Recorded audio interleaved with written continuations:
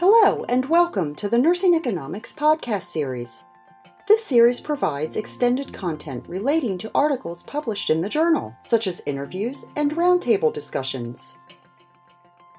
In this episode, Dr. Beverly Malone, Chief Executive Officer for the National League for Nursing, speaks with recent nursing school graduate Brooke Trigiani of Rutgers University School of Nursing in Camden, New Jersey, on the transition from being a student nurse to becoming an active registered nurse in the community.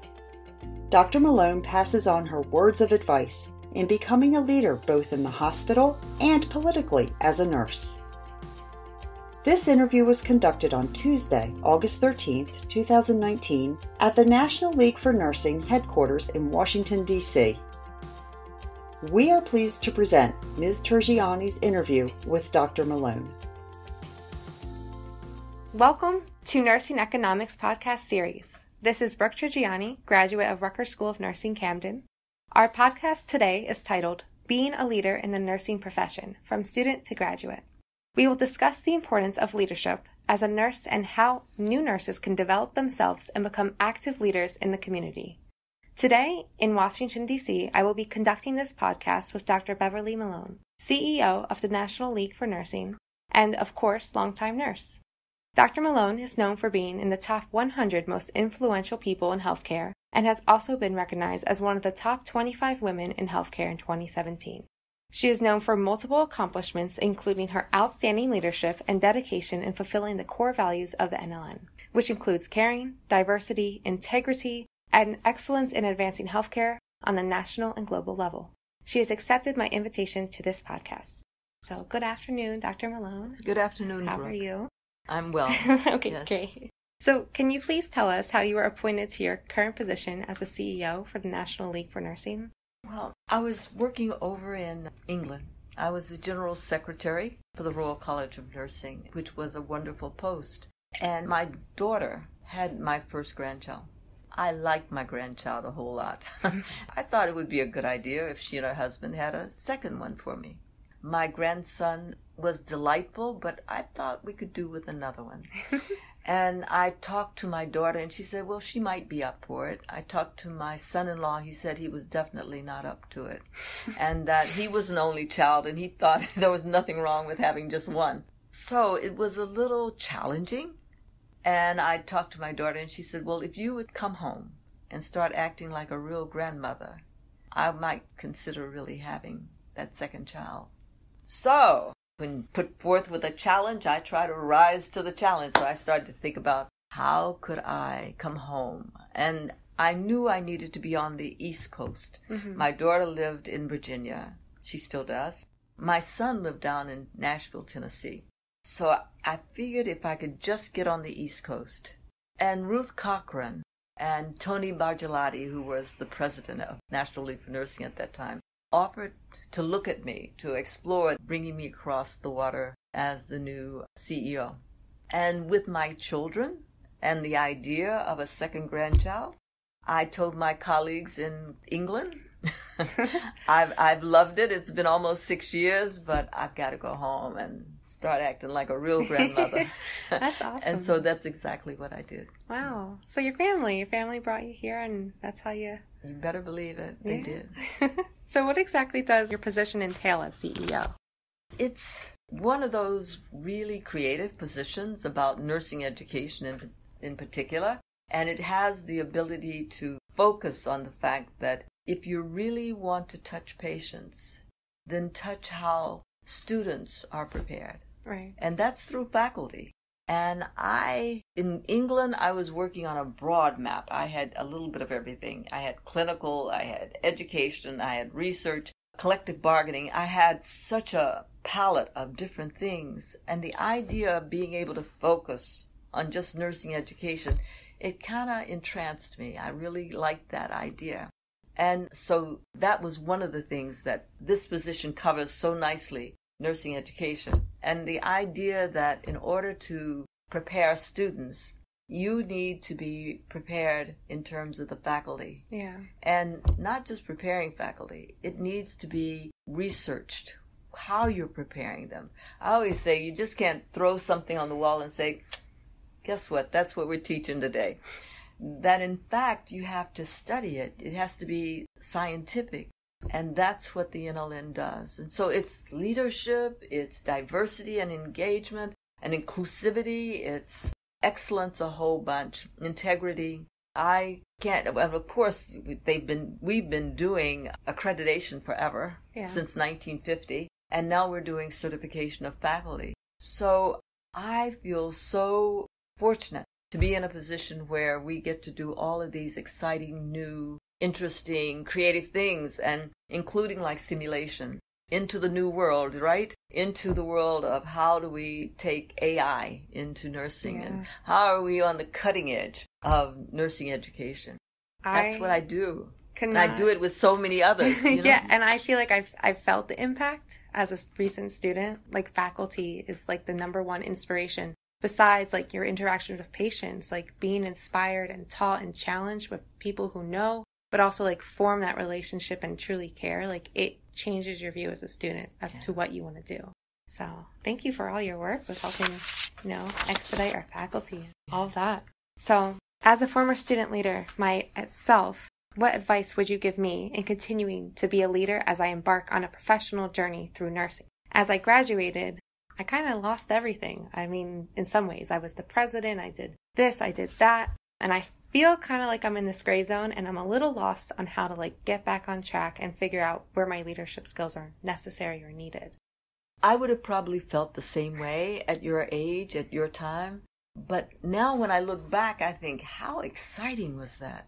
To be at a place where the road, you could go this way, you could go that way, you could go this other way, and to have the opportunity to stretch out and try some different things. So I consider it where you are now to be one of the most exciting times of my life.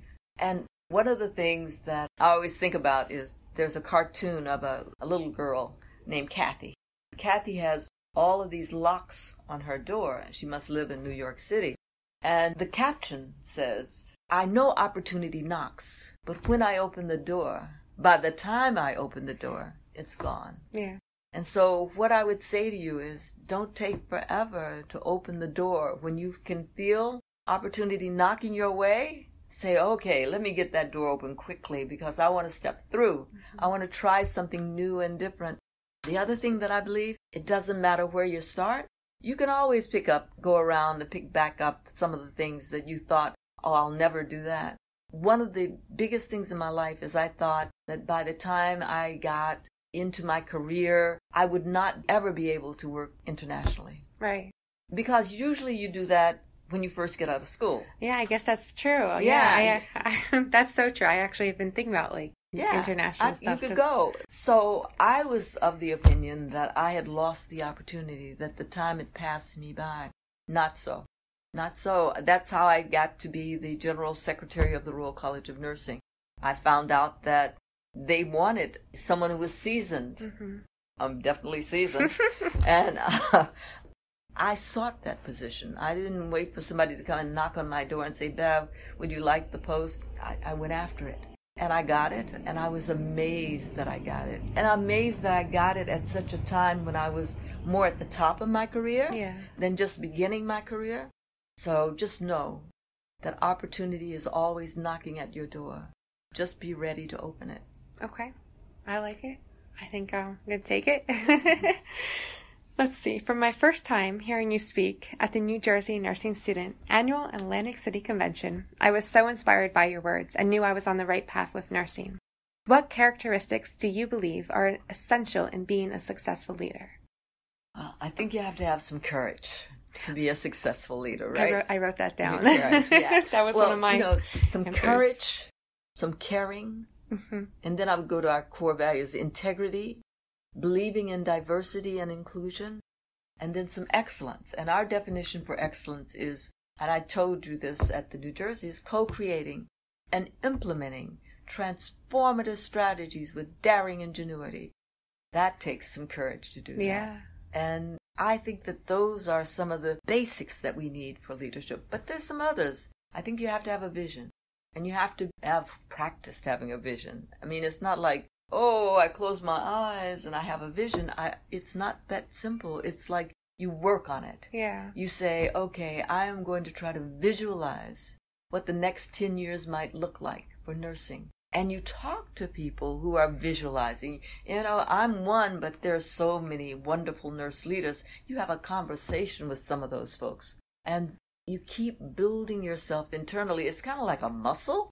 You know, when you're working on building that internal muscle, Yeah. you learn how to develop it. You learn how to connect with others. You pay attention. You listen to folks. One of the concerns I know that when I worked in a hospital was that new nurses would come in and they wouldn't be ready for making the transition into practice because they were ready to take over. Mm-hmm. And the staff there would say, mm, here comes another one. So that there's some humility that goes with leadership too. Yeah. That's really important. But to have done what you've done already, to be sitting here talking to me and talking to the world, you're kind of on the road. Yeah, I responded to some of my own questions and some of the words that you said I also wrote down. So I, my first word was humility to like, cause I just, you know, you go through failures or issues or problems and sometimes you just have to keep going with it and realize you made mistakes. And then I wrote courage and curiosity, kindness and authenticity. So it's just kind of cool to see like some of like the stuff you say is lining up with what I'm feeling so new into the game. So it's like inspiring. It's inspiring for me too. It's like right back at you. You know, it's like it's bouncing this way, but then it comes back and it Yeah. bounces to you. And we need each other. Absolutely. Uh, yes. Aw. All right, so I think this next question kind of touches on new nurses a little bit. So I wrote, as a new graduate, we have a whole new transition as we go from students to professionals. So what challenges do you think new nurses will be facing as they enter the workforce? Information, knowledge is changing so fast. It seems like you go in and you think you know what you're talking about, but it's changed by the time you get to the front door of mm-hmm. your profession. So being able to stay up with what's happening, and that means that you're going to have to stay in your books or in you know online. You're going to have to keep information. You're going to have to go to conferences and listen to podcasts and stay totally up with the things that are going on. So that's one thing new nurses. But the other thing is how you relate to the rest of the team that you're working with. And you've got to really remember that they want you to succeed because they want the patients to be cared for too. But it's kind of a little bit of a competition as you walk in the door how you treat those colleagues those new colleagues will depend a lot on how what how they end up treating you Right. so that's really really important It's a little scary. it, It's- it is know that there are mentors among them yeah. and that they're looking to mentor someone but they're kind of got you on a scale they're looking at you saying mm, okay how does she seem oh she's a, a little bit arrogant i'm not sure that i can work with her so bring it down a notch and say you know my mama taught me not to be arrogant Right. but to know what i was doing to the best of my ability for the patients that i care for ah so you care about the patients yeah i do So all those reflections in school we Yeah. should still be doing. Yeah. They're kind of key to everything. they are the key to everything Yeah. Okay. So one of my, speaking of reflections, uh, favorite reflective activities is writing down advice I would give my younger self. Like my whole notebook is full of it. So what words of advice would you give to your younger self? Mm. I've been fortunate. I had a great grandmother who gave me all of these sayings. I'm from Kentucky. and so there's one that says, It's a cinch by the inch, Right. it's hard by the yard. And that's the whole idea that sometimes you can't take it all at once and swallow it whole. Mhm. That even like with a, say, something like a master's or a dissertation, you got to take an inch and step back and uh, congratulate yourself. Take another inch, step back and congratulate yourself. Another one is don't let anyone take away your joy. The world didn't give it to you, and the world cannot take it away. I think that has a lot to do with keeping folks from getting depressed. Yeah. That it's the idea that, yeah, I work with you, but this is my joy. And I'm sorry it's not available for you to just take away.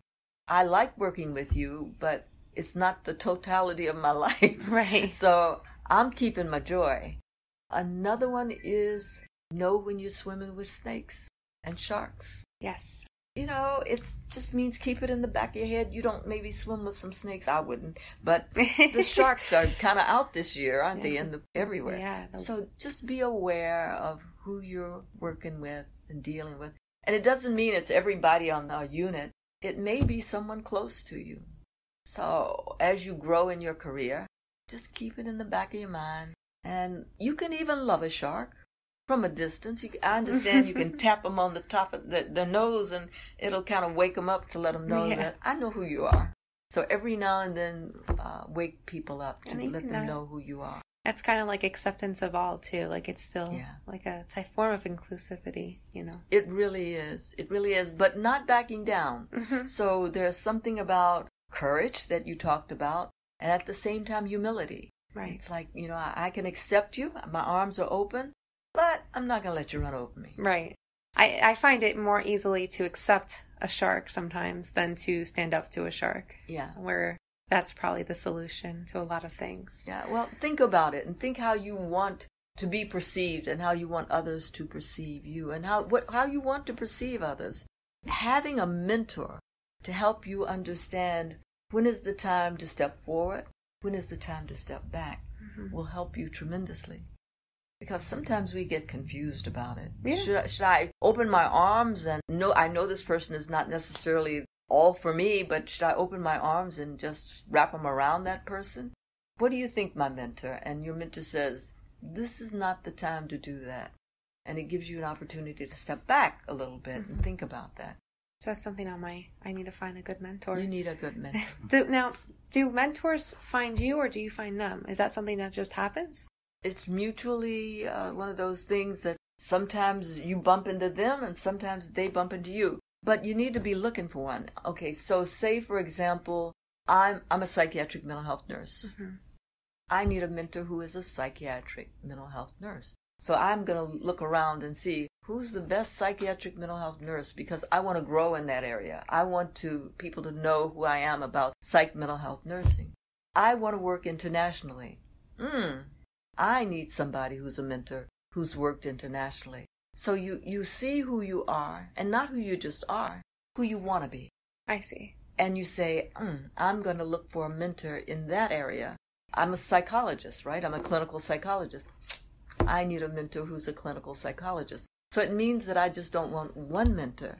I want a basket of mentors I see. about who I am and who I want to grow into being. That's really good advice. So, my last closing question is from my experience in school and on the NJNS Incorporated State Board. For student nurses, I have learned that politics is just as important in nursing as learning proper bedside care. How do you translate nursing into politics? I love being a, a psych mental health nurse. And so I would take care of patients and it would be, you know, kind of my patient and I would feel really proud about that. But I started to understand that I really couldn't advocate for my patient unless I understood the politics that were involved. So here I'm taking care of my patient, but guess what? Decisions are being made in Congress that affect my patient right at my bedside. How is that? What is that about? So how can I just only take care of my patient, block it out as if it's just me and the patient, unless I really start to understand the politics that are being out there, that are being played out there, that are being made? How can I, a nurse, only take care of my patient well unless I put in and translate the politics that are affecting my patient? And this is not just about psychiatric mental health patients. Mm-hmm. This is about any patient.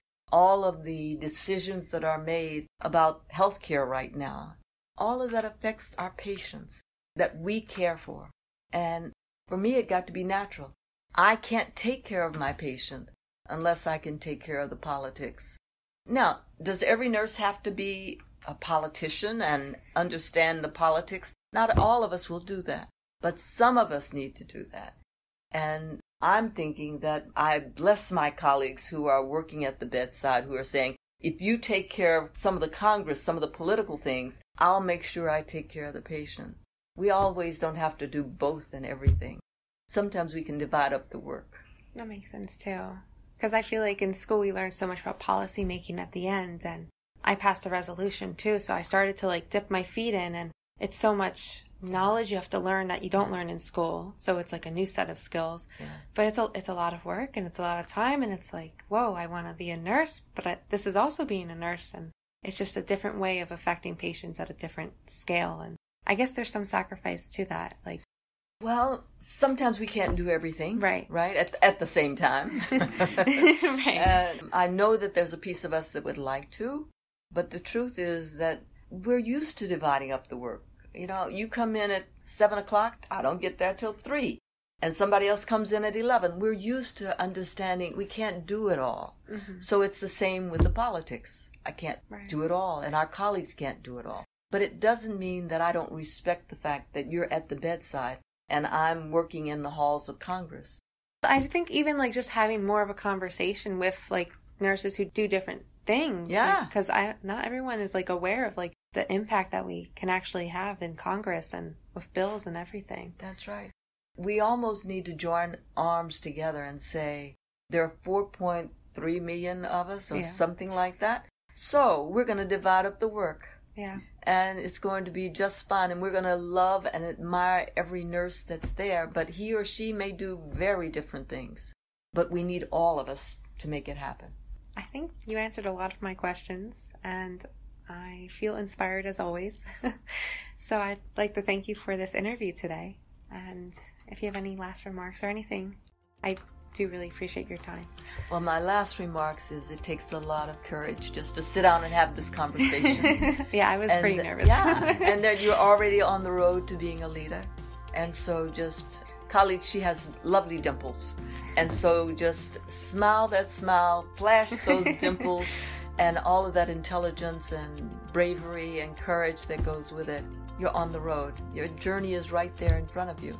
And that's really for every nurse that's listening to this podcast. Your journey is right there. Just take the first step and then the next step. Thank you so much. The Nursing Economics podcast series is owned and produced by Jannetti Publications Incorporated. All rights reserved. No portion of this podcast may be used without written permission. Dr. Beverly Malone is the Chief Executive Officer for the National League for Nursing in Washington, D.C. Ms. Brooke Trigiani is a recent graduate of Rutgers University School of Nursing in Camden, New Jersey. For archived episodes of this podcast and to learn more about nursing economics, visit the journal's website at nursingeconomics.net. You can also subscribe to the Nursing Economics podcast on iTunes, Google Play Music, Spotify, Stitcher, TuneIn Radio, our hosting site Spreaker, and other various podcast delivery services. And as a listener, you can save 50% off your first year subscription to Nursing Economics. Simply visit nursingeconomics.net forward slash offer to take advantage of this special discount.